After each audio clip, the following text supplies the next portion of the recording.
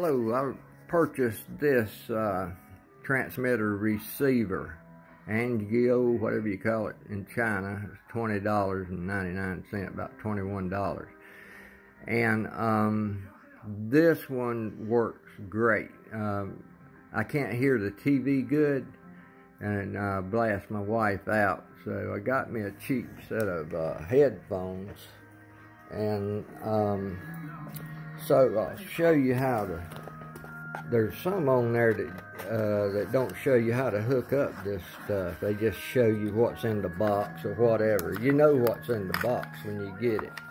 But it's got some directions. I've already hooked mine up and I'll show you how it hooks up. Okay, right here it is. Right here it is. Take that little jack and plug it in the end that's got the red and white there. Okay, plug that little black jack wire into it and plug it into the back of your, bottom of your TV here. That way it's for your TV.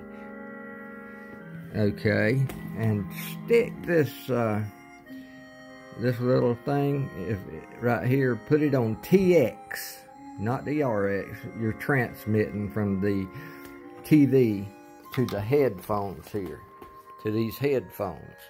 And all you do is press this button right here and hold it down for about three seconds and it'll come on and it'll come on and start red right here okay and you take your headphones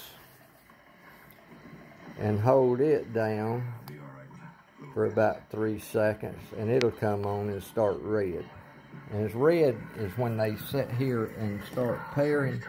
And when it turns blue when it turns uh, when they start blue just blue that means they're paired. And and you can start hearing off your see it's blue now? This one's done turned blue. Right let me show you.